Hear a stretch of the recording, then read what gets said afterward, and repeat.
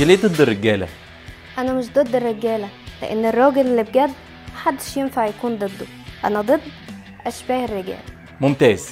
إحنا كرجالة أنا مؤمن إن في أشباه رجال بس برضه في أشباه نساء. أكيد. علشان كده قررت إن أتكلم عن أشباه النساء في السيزون ده. طب انت ما فكرتيش ليه وصلوا لمرحلة إن هم يبقوا أشباه رجال؟ فكرت وقررت إن أبحث وأدور هل أشباه الرجال هم ضحايا نساء ولا ضحايا بيئتهم؟ استنوني في السيزون التاني من ضد الرجالة ولكن مع ضيف شرف البرنامج دكتور إبراهيم هيكل استشاري العلاقات الإنسانية والصحة النفسية. وما تنسوش إن رأيكم دايما بيكمل رأينا. هنستنى آرائكم واقتراحاتكم. ما تنسوش تتابعوني على المنصات اللي هتظهر قدامكم. على الشاشة دلوقتي في ضد الرجالة. ولكن.